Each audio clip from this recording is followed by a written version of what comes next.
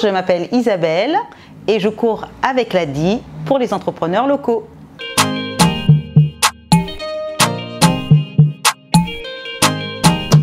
Je vais faire la fameuse Diagonale des Fous. C'est un des, trails les plus durs au monde qui fait 165 km. On a 66 heures pour la faire maximum, donc ça, peut durer 3 jours dans un relief complètement euh, volcanique puisque ça se passe à La Réunion.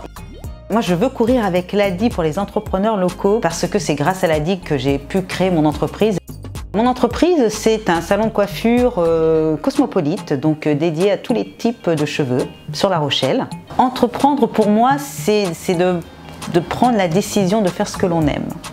Ça a été justement un aboutissement à un rêve que, j'avais depuis, euh, depuis des années, depuis l'âge de mes, 18 ans, j'avais envie de créer mon entreprise.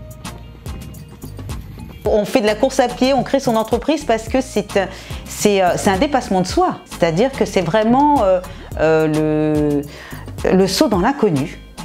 Et, de savoir un petit peu de, quoi on est capable, ça fait du bien, ça, donne énormément de confiance en soi. Que ce soit la création d'entreprise ou, la course, il faut être bien entouré. Ça, c'est essentiel d'avoir euh, bah, de l'amour autour de soi et, du soutien de ses proches. Et euh, dans la création d'entreprise, c'est d'avoir en face des gens qui croient euh, autant à son projet que, soi-même. Pour moi, c'était presque une évidence de, courir pour l'ADI parce que je, voulais aussi les remercier d'avoir été là à un moment donné où bah, j'ai eu besoin d'eux. Je vais être euh, très fière de courir euh, avec et pour l'ADI à La Réunion.